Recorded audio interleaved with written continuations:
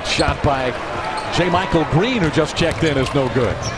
Fournier with the Euro step around Farmar. Nice job again. Evan. Gasol fractured a foot back in early February. He's missed.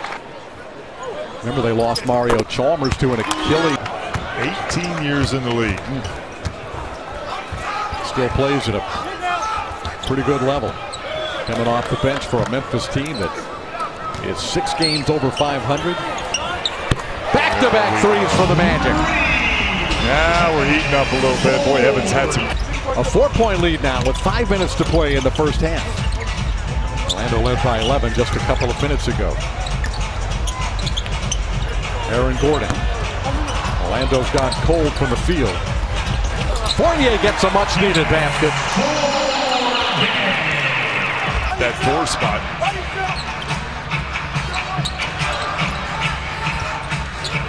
Fournier, three-pointer, nothing but net. Second three. A smart foul there.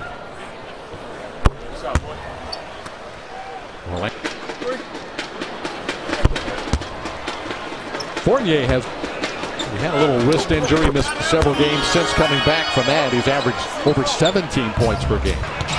And play by Farmar, picked off by Fournier, who lays it in to give the Magic an 18-point lead. On the forehead of Fournier. The game was that He took six stitches. For that. I kind of made gave him a tough guy look there to come back. Oladipo. Tracked by Barnes. 10-foot jumper, no good. Vucevic, however, the rebound. Fournier an open three. He drills it. That's the one. That's the one we needed.